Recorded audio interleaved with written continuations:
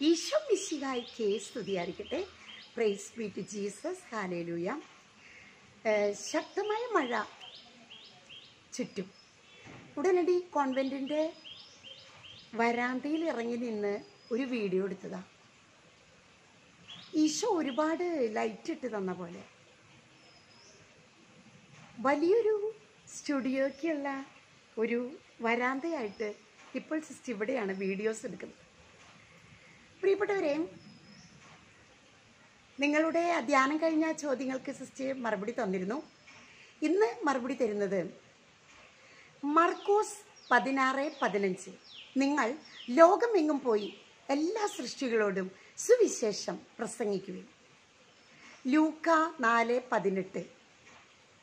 കർത്താവിന്റെ ആത്മാവ് എന്റെ മേലുണ്ട്. ദരിദ്രരോട് സുവിശേഷം അറിയിക്കുവാൻ അവിടെ നിന്ന് എന്നെ അഭിഷേകം ചെയ്തിരിക്കുന്നു.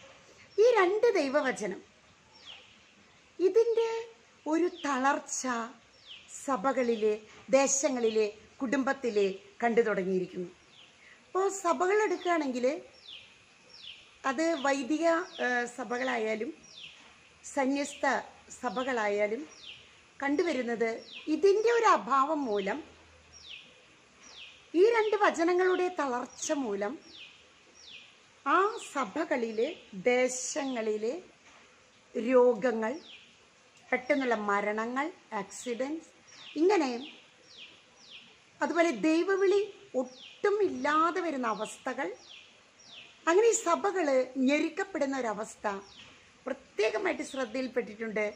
പരിശുദ്ധാത്മാവ് ശക്തമായി ഇതിനെക്കുറിച്ച് പറഞ്ഞു തരുന്നുണ്ട്. ആദ്യമേ നിങ്ങൾ ദൈവത്തിന്റെ രാജ്യവും നീതിയും അന്വേഷിക്കും.